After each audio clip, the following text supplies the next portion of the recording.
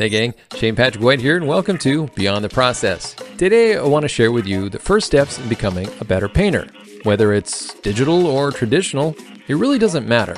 These are the foundation skills that everyone needs to succeed with color. If you've had problems with value or color temperature, I'm here to explain the basics of what you should know.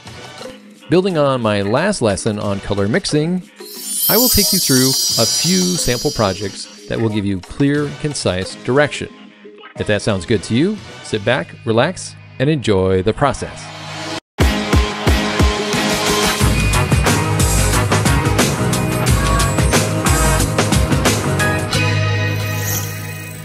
When it comes to understanding color, we need to start with how the human eye sees the world around us.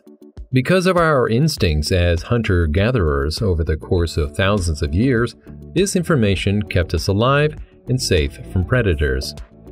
Years ago, I learned from an army sniper that there are four things that the human eye perceives. These are also the basis for creating powerful images.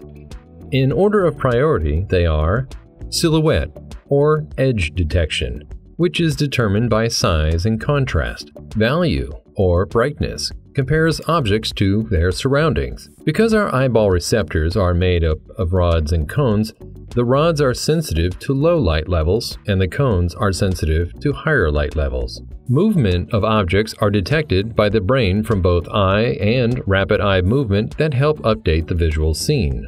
Color is the last thing we perceive, which is a combination of signals from different types of cones red, green, and blue and the brain's interpretation of those signals. Color perception is also influenced by the surrounding context, including value and saturation. As you can see, combining any of the above four examples can make for sharper and clearer images. These principles are crucial when it comes to creating still or moving pictures. When it comes to painting, whether digital or traditional, there are two things to keep in mind. Number one, we squint to see value. This is especially important when working in graphite or ink drawings, as there is no color to direct the eye. Tonal variation is easier to see as well as rhythm of line. Number 2. Conversely, we open our eyes to see color. This lets us compare color relationships to build harmonies. These two basics are key to painting from life. But when we're painting out of our heads, squinting is going to be your best friend throughout the entire process. Of course, any opportunity to do color studies, if there is time, will help you immensely when first learning the craft.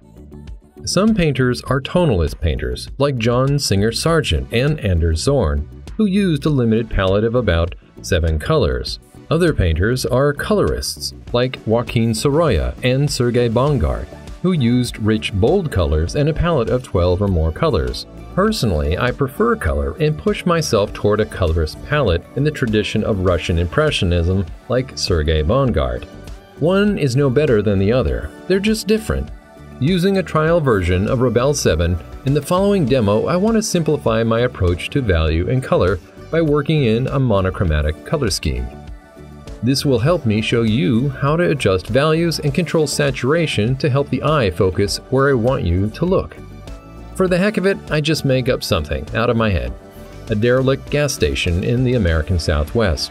I want enough foreground, middle ground, and background to give myself the opportunity to create visual distance with not only shape and detail, but with value and color. I use the red palette that I created in my last video for continuity purposes.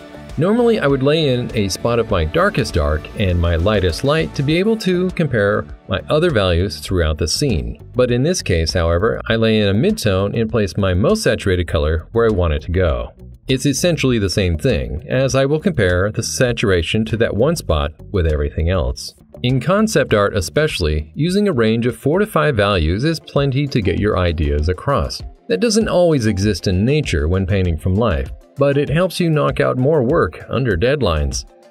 I was shooting for an afternoon suncast of about 1 to 2 p.m. If you study the bravura paint strokes of the Russian Impressionists, you will see that they establish lighting early on in their block-in phase, so you can tell what time of day it is even before you realize what the subject matter looks like. I purposely painted this piece zoomed out so I can evaluate the image better as I go. All too often, we zoom in too quick and start noodling on unimportant detail.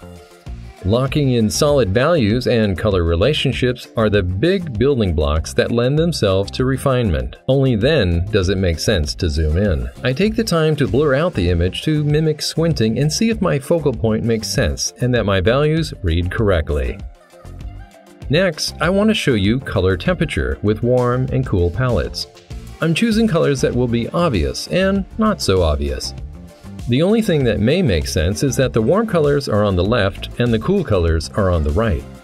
Using a simple rock shape and establishing my light source in the upper left should simplify things for this demo. I start with two purples close in value, one red shade and the other blue shade. Compared to colors like yellow or red, purple is a cool color. But within its hue, or color family, you can have warms and cools. For clarity, I add a darker shadow passage to help separate the two colors. Next, I'll use a cool lighting setup with the lighter, cooler blue. The darker blue is also warmer and will be the shadow this time. It's helpful to remember this adage warm light, cool shadows, or cool light, warm shadows. Of course, there are some exceptions when handling these situations that I will cover in later videos.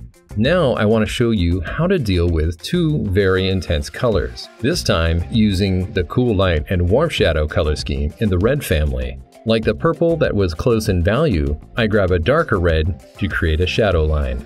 So how does one determine between warm and cool colors? A lot depends on lighting choice. Even if you're wearing a cool blue shirt, a warm light will warm it up. A cooler light will cool it down and make the shadow sections warmer. It's obvious that red and blue are warm and cool, respectively. Your shadow line would most likely be a purple as the two mix to create that color. But when they're complementary, like green and red, they will either become a perfect gray neutral or they will lean toward the red side or the green side, depending on hue and saturation.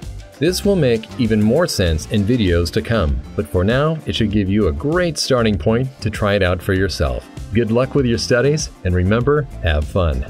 Thanks again for joining me today. If you found any value in this, hit the like button. Better yet, subscribe or tell a friend. Until next time, thanks for watching.